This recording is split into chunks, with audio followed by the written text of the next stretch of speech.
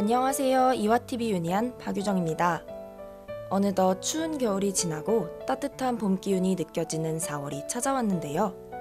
이번 학기 유니안에서는 일상에 지친 현대인들에게 도심 속 여가 생활을 소개하는 프로그램 슬기로운 취미 생활을 준비했습니다. 첫 번째로 가볼 곳은 전시회인데요. 지금 바로 만나보겠습니다.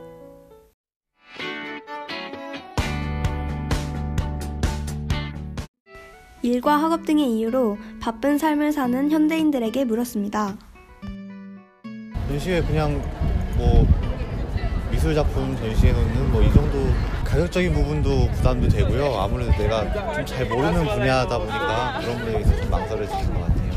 막 미술 작품도 걸려 있고 거기 선 밖에서 관람하는 그런 약간 딱딱한 분위기 한 3만 원, 4만 원 시간적이고 경제적인 면에서 좀 부담스러워. 좀 어렵고 난해하다 좀 그런 느낌이 들기도 하고 이해하기 힘든 부분이 분명히 존재하죠. 음, 만 원은 기본으로 넘는 걸로 알아서 학생 입장에서는 아무리 좋아해도 보러 가기 힘든 것 같아요. 인터뷰를 통하여 전시회에 대한 시민들의 생각을 들을 수 있었습니다. 기존 전시회와 달리 성인 기준 만 원을 웃도는 티켓 가격과 편한 차림으로 볼 수 있는 다수의 전시회가 생겨나면서 전시회가 현대인들이 쉽게 즐길 수 있는 새로운 취미 생활이 될 수 있다는 가능성이 커졌습니다. 또한 최근 기존의 대형 포털 사이트에서 제공하는 정보만이 아니라 한문화타임즈, 아트조선, 미술세계 등 전시회와 관련한 전문 사이트들이 생겨나기 시작했습니다. 이들은 다양한 문화예술 정보는 물론 메일링 서비스를 통해 전시회 관련 소식을 전해주고 있습니다. 이러한 서비스를 통해 시간에 쫓기는 현대인들은 보다 빠르고 쉽게 전시회에 다가갈 수 있을 겁니다. 이렇게 전시회에 대한 접근성이 높아진 요즘 전시회의 모습은 어떻게 바뀌었을까요? 저희 유니안이 전시회에 직접 방문해봤습니다. 저는 지금 동대문 디자인 플라자에 나와 있습니다. 현재 이곳은 봄인 만큼 따뜻한 바람이 불어오고 있는데요. 오늘 제가 관람할 전시회도 바로 이 바람과 관련이 있다고 합니다. 그럼 지금부터 자세히 알아보실까요? 바람을 그리다. 신윤복 정선의 전시회장 내부 모습입니다. 한양 사람들의 가슴 속에 부는 바람을 그린 혜원 신윤복. 한강에서 금강산까지 우리 강산에 부는 바람을 그린 겸재 정선의 그림이 전시되어 있습니다. 뿐만 아니라 신윤복의 작품으로 유명한 월야밀회, 광고 이미지 속 단호 풍정부터 칼춤을 추는 기녀를 그린 쌍검 대무까지 살아 움직이는 다양한 작품을 살펴볼 수 있었습니다.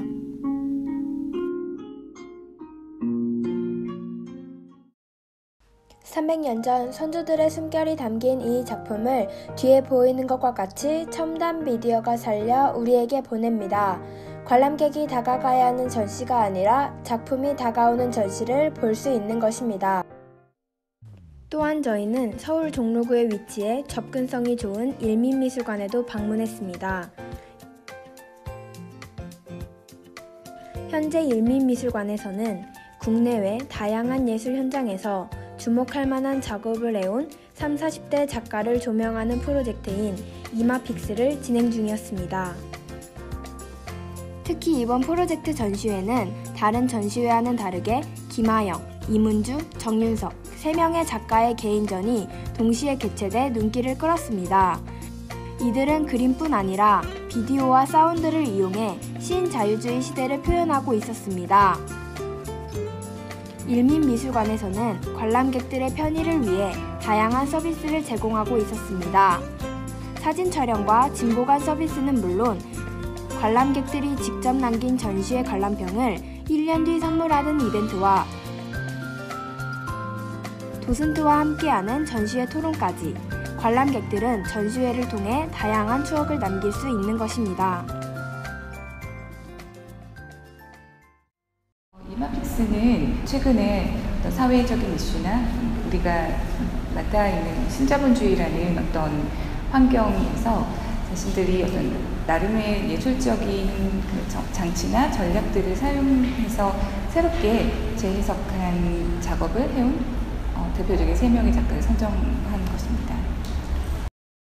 전시 관람이라는 어떤 어, 활동 자체가 그 이전과 요즘 최근은 굉장히 많이 달라진 것 같아요. 그 예전에는 음, 훨씬 좀 어, 수동적인 관람의 형태였고 이, 이걸 통해서 음, 뭔가를 그 작가의 메시지를 직접 그냥 받아들이는 그런 자세였다면 요즘은 훨씬 어, SNS나 이런 본인의 미디어를 통해서 자기의 목소리를 내고 또 어, 그런 어떤 자신의 취미 생활을 공유함으로써 거기에 동조하는 또 다른 사람들이 또 많이 어, 다시 또 찾아오는 그런 형태잖아요. 전시라는 게 음, 굉장히 굉장히 즐겁고 어, 본인들이 음, 참여할 수 있는 그런 공간이라는 생각을 가질 가질 수 있는 멋진 작품을 감상하는 것 뿐만 아니라 사회 구성원 모두에게 옛 선조들의 원작과 미디어, 사람과 기술의 조화라는 생각할 거리를 던져주는 전시회들은 바쁜 일상에 지친 현대인들이 더욱 성숙한 문화인으로 거듭날 수 있도록 도와줄 것입니다. 윤희안, 김규리입니다. 누구나 쉽게 찾아볼 수 있는 다양하고 흥미로운 주제의 전시회들. 긴 시간을 들이지 않고도 여유로운 문화생활을 즐길 수 있어 최근 큰 인기를 얻고 있다고 합니다. 이번 주말은 반복되는 일상에서 벗어나 전시회로의 여행을 통해 마음의 양식을 쌓아보는 건 어떨까요? 오늘 유니안이 준비한 소식은 여기까지입니다. 시청해주신 여러분 고맙습니다.